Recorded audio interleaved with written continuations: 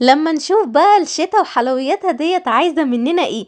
النهاردة بقى هنعمل القرص المسكرة المعسلة ديت في أقل من دقيقة. طعمها حلو جدا وسهلة وسريعة وكمان كل الكمية ديت من أربع كوبايات دقيق.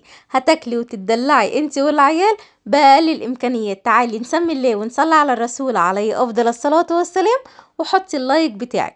معايا كوباية من المية الدافية.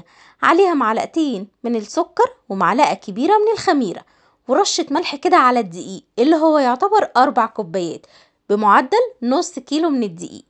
قلبت طبعا رشة الملح على الدقيق وبدأت اللي أنا أقلب السوائل دي مع بعضيها لحد ما السكر داب معايا. وبعد كده نزلت بربع كوباية بس من الزيت وقلبت كله مع بعض. هنزل بالدقيق تدريجيا كده كوباية كوباية لحد ما العجينة بتاعتي تلم معايا. صليتي على الرسول؟ طب يلا صلي على الرسول في الكومنتات. وما تنسيش تعملي متابعة للصفحة وتقولي لي بتتفرجي عليا منين يا ست الكل. هنزل بقى بالدقيق تدريجيا كده لحد ما المضرب يقول لي كفاية يا هبة. استعملي ايديكي بعد كده. هتلاقي العجينة بتبدأ تتقل معاكي فتعجني بقى بإيديكي. أربع كوبايات دي مظبوطين بالملي. ممكن تزودي نقطة مية أو تزودي كده رشة من الدقيق. بس لو الدقيق بتاعك مظبوط يبقى مش هتزودي أي حاجة خالص. في الوقت دوت بقى بدأت بقى اللي أنا أعجنها كويس جدا. مطلوب منك اللي أنت تعجنيها قد 3 4 دقايق كده مش تاخد منك وقت خالص إن شاء الله. أول ما الدقيق يتلم معاكي يبقى كده تمام قوي بقت معانا زي الفل.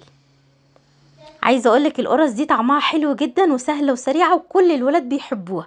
وتنفع كمان في اللانش بوكس حاجة كده مسكرة كده طعمها حلو قوي. أنا هنا زودت معلقة واحدة من المية. بس الأول جربي بس الأول المقدار اللي بقولك عليه وممكن ما تزوديش. العجينة خلاص اتعجنت معايا وبقت بالشكل دوت كده. رشه زيت من تحت ورشه زيت من فوق كده على العجينة وغطيها بكيس بلاستيك وسيبيها تخمر قد نص ساعة. مش هتاخد أكتر من نص ساعة عندك في المطبخ وانت واقفة بتعملي الأكل. بعد بقى ما خمرت معايا بقت بالجمال والحلاوة ديت كده. بسم الله ما شاء الله. هاخدها بقى ويلا بقى نشكلها مع بعض. مش هنعجن فيها تاني إحنا هنخرج بس الهواء اللي فيها وبعد كده نقسمها. هنقسمها لكرات صغيرة كده. الكورة حوالي 40 جرام. حلوة قوي. عايزة تكبريها شوية براحتك. بس هي 40 حلوة قوي. بسم الله ما شاء الله. هيطلعوا معاكي 16 قطعة. وممكن تقلليها كمان. تقلليها ل 25 جرام. ممكن يطلعوا معاكي فوق ال 20 قطعة. لو عملتيها 20 جرام. هخلص الكمية كلها. طبعا أنا عملتها بالميزان. انت هتعمليها قد الإيه؟ الليمونية الكبيرة شوية. أنا عملتها بالميزان عشان كله يطلع شكل بعض وحجم بعض. بعد ما قفلتهم كده زي ما انت شفتي هبدأ اللي أنا أكورهم على الرخامة وأروح أرصهم. عشان نحضر مع بعض الحشوة وكمان نحضر الوش اللي هيتحط فوق الوش. هقولك على تطبيق حلو جدا هيسهل عليكي الوصفات. لو ليكي في الوصفات السهلة السريعة لينك التطبيق هتلاقيه موجود في الكومنتات. حمليه وادعيلي. بيشتغل من غير نت خالص. حضرت كده قد نص كوباية من السكر. وحطيت عليها معلقة كبيرة من الدقيق وقلبت كله مع بعض. دي الحشوة. لو عايزاها بالقرفة هتحطي كده حوالي نص معلقة صغيرة. كده خلاص قلبت بقى الحشوة اللي إحنا هنعملها السكر والقرفة. الدقيق علشان خاطر يمتص بس السكر وما يدوبش منك جوه العجينة. يبقى السكر كده آه سايح بس مش منزل مية على الصاج والعجين وال... والقرصة كده طعمها مش حلو. بعد كده خدت معايا حوالي نص كوباية من السمسم عليها 3 معالق من السكر ومعايا طبق كده فيه شوية مية وممكن تستبدلي المية دي باللبن اللي هو الحليب يعني. بس المية شغالة معانا يعني مش هتقولك لأ. بتحطي بقى كده حوالي نص معلقة صغيرة جوه القرصة وبتبدأي اللي انت تقفليها زي القطايف وبعد كده بتقفليها بقجه بتحطيها في المية وتطلعيها من المية على السمسم اللي عليه الايه؟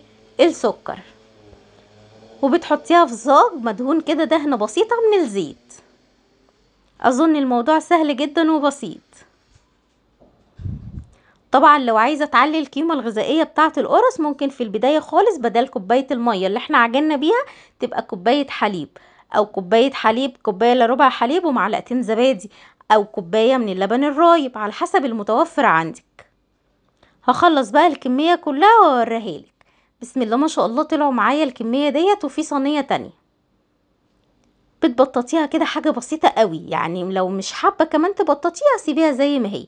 طبعا هتدخل على فرن سخن ومستحب تدخلي المخبوزات على فرن سخن عشان ما تعضمش معاكي. على الرف الوسطاني على درجة حرارة 200 وقبليها الفرن بيكون سخن قبليها بعشر دقايق. ما بتاخدش وقت خالص أقل من ربع ساعة وهتلاقيها بسم الله ما شاء الله استوت وزي العسل. عايزاها مقرمشة كده وتبقى الوش بتاعها مقرمش سيبيها تتهوى في في المطبخ. عايزاها تبقى طرية كده معاكي رش على وشها شوية مية وغطيها بفوطة. هتطلع زي العسل طعمها حلو قوي ما تنسيش اللايك.